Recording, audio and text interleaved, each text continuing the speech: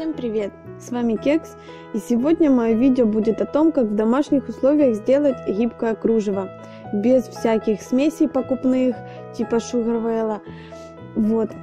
Так что Самый простой вариант, который я для себя вывела, такой. 20 грамм крахмала, у меня картофельный, можно кукурузный, 20 грамм сахара. Если есть фруктоза, то можно с ним, можно просто с обычным сахаром, разницы нет. 5 грамм пектина, у меня второй, чтобы это не значило, понятия не имею. Чайная ложка глицерина и 50 миллилитров воды. Вот. По поводу пектина, я, если честно, представления не имею, как они там делятся там есть и яблочный, и фруктовый. Я, честно, не скажу. У меня здесь уже в рюмочке я смешала э, сахар, крахмал и пектин, и это хорошо нужно перемешать. Я буду делать всего лишь на полпорции, потому что мне нужно на один тортик буквально, и, а вот этой вот порции полной, ее довольно много получается. Не, ну, конечно, если вам нужно поэкспериментировать, то не вопрос. Но я хранить как бы не буду, я лучше сделаю свежую, поэтому делаю на пол порции. Я сразу влила 20 грамм водички, 25, и сухую смесь э, в жидкую вкинула и сейчас растираю все комочки, потому что если пектин схватится комочками, потом очень сложно будет э, его э, растереть, когда он уже поднабухнет. То есть лучше этим заняться сейчас, чтобы потом у нас не было проблем. Собственно, для начала эту массу мы вот уже первую часть э, нашей работы закончили. То есть э, основное это мы смешали сахар, воду, крахмал и патоку. Ой, патоку, господи, э, пектин. И оставляем эту смесь на где-то полчаса для того, чтобы у нас с водичкой соединился хорошо наш пектин. Вот.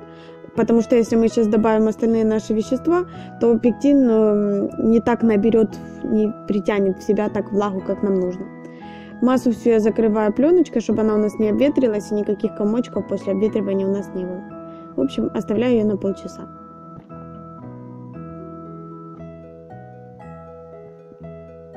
Прошло полчаса.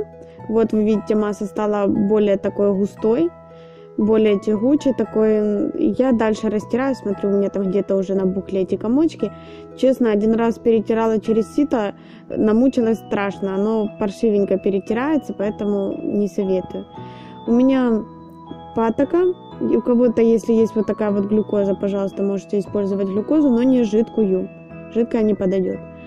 Пол чайной ложки беру я, чайную ложку берете вы, если делаете на целую порцию.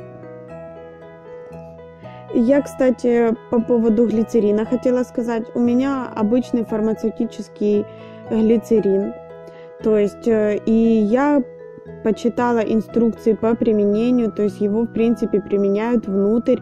И пролистав очень много сайтов, и в конце со знакомой фармацевтом я проконсультировалась, разницы между тем глицерином, который продают за 80 гривен, типа как э, кондитерский, и вот этим вот фармацевтическим, который продается, абсолютно нет.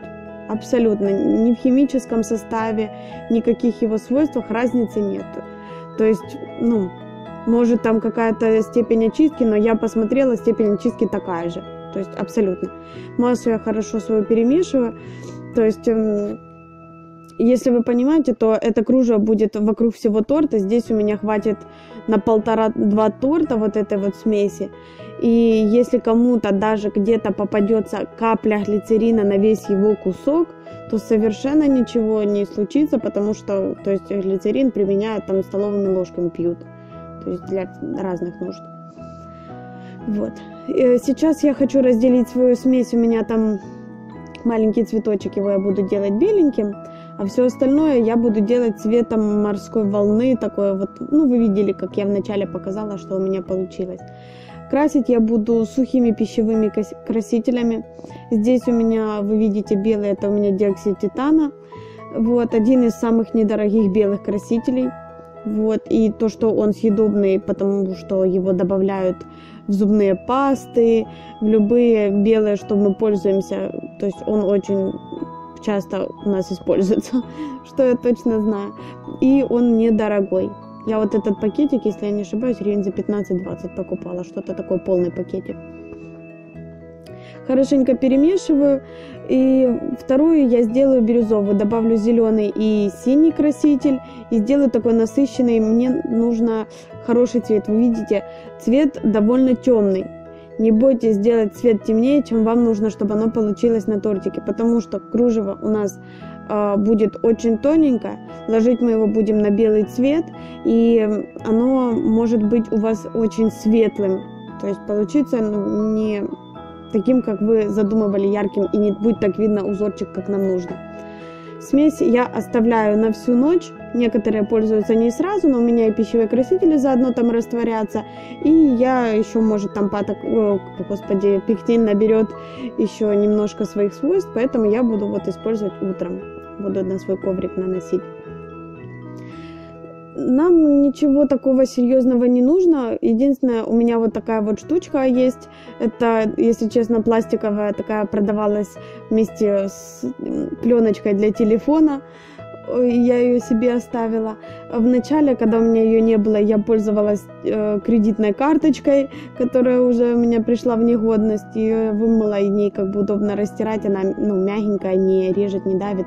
То есть очень удобно вещами пользоваться наносим на наш коврик, эм, вначале немножко придавливая туда, чтобы все у нас вошло внутрь. И не совсем сразу все я подчистую выравниваю. Я вначале нанесу э, на полоски, сколько мне хватит, а потом уже буду счищать лишнее, чтобы убрать лишние пленочки на перепонках, чтобы у нас как бы не был один сплошной пласт, а именно все-таки было кружево с дырочками. Вот. Это кружево отлично режется ножницами после того, как мы уже его приготовим.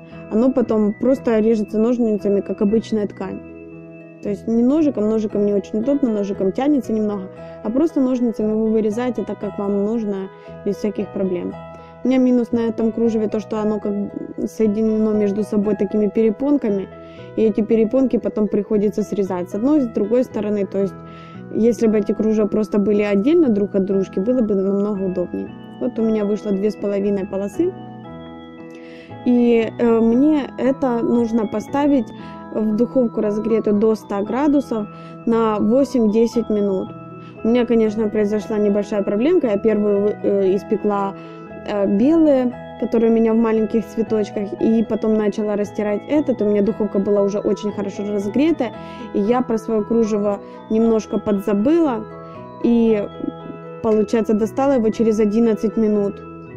И у меня еще духовка печет с одной стороны сильнее, чем с другой, поэтому я испортила просто полтора куска кружева. То есть вот этот маленький кусочек кружева у меня ушел, и ну, он просто начал крошиться, он пересох. И э, большой, с одной стороны, у меня немножко там, ну, кусочек отошел от хода. Сейчас я достала свое кружево после 10, в моем случае после 11 минут, и оно еще должно минут 10 полежать при комнатной температуре остыть, чтобы схватился наш э, пектин, то есть так оно, как варенюшка, оно должно вначале застыть. И теперь я переворачиваю мой коврик и просто смотрю, где мне зацепиться, начинают отходить кончики, я их просто поддеваю. А, честно скажу, если бы я их не пересушила, отходят они намного лучше. Но сейчас я просто боялась, что я испорчу э, совсем э, свои кружева. А так как я смеси делала мало, у меня выбора не было, мне надо было как-то из всего этого все равно украсить торт. Я потом решила, что я одну эту полоску, которая у меня получилась хорошо, я просто разрезала напополам и не хватило ее для того, чтобы украсить торт вокруг. Просто он был не на всю высоту, это мое кружево. Я там добавила такие, как рюшки. И вышло из этого положения именно так. Выбора не было. Ну, вы смотрите, я как раз просто поддеваю ножиком, подтягиваю лучше чем-то вот плоским ножиком, тоже какой-то картой кредитной или чем-то вот таким вот плоским. Пальцами не советую хвататься, потому что можно порвать. Вот. И я подтягиваю аккуратненько в моем случае. Ну, вообще оно очень хорошо отходит. То есть иногда даже можно не переворачивать, то есть оно может вообще сниматься как, ну, очень красиво оно снимается. А у меня сейчас приходится немножко побороться за целостность моих кружев, поэтому, видите, вот сбоку у меня начинает, оно там цепляется крошится немножко, именно чувствуется, что оно пересохло у меня. Ну, вы не делайте такую ошибку. Э, кружево считается готовым, вот я в духовке его пробую, если э, оно не водянистое, не липкое сверху. То есть я духовку приоткрываю, э, рукой попробовала быстренько, чтобы оно не было прям совсем-совсем липкое, водянистое. То есть, когда оно сухое, оно считается уже готовым и доставайте. И вот получилось мое кружево. Видите, у меня там, где все-таки были сгустки пектина, там у меня небольшие вот пятнышки получались. Ну, их на самом деле не будет видно. К сожалению, тут плохо камера передает вот эти все дырочки. Но так оно очень красивое. Видите, мягкая, гибкая, ничем не уступает э, шухревейлу, который стоит по 200-300 гривен за 100 грамм. То есть, а здесь мы только покупаем пектин. Все, и все остальное у нас есть. Ну, может, у кого-то нет патоки, это как бы надо купить. Вот таких вот белых я еще наделала несколько штучек из того белого, что я показывала, что с диоксидом титана мешала. Кстати, если у вас нет никаких красителей, то лучше не пробуйте, потому что кружево у вас получится на цвет никакое. То есть для того, чтобы оно получилось белое, туда надо добавить белый краситель. И вот как бы я его вот так прицепила на тортик, добавила чуть-чуть кружев вот так вот сверху, и мне, меня, в принципе, это устроило. Но так бы это было на всю высоту тортика, не пришлось бы кружево добавлять. Ну, тоже по-своему так интереснее. Вот, с вами был Кек. Задавайте свои вопросы, ставьте пальчики вверх. Буду рада вам помочь. Пока-пока.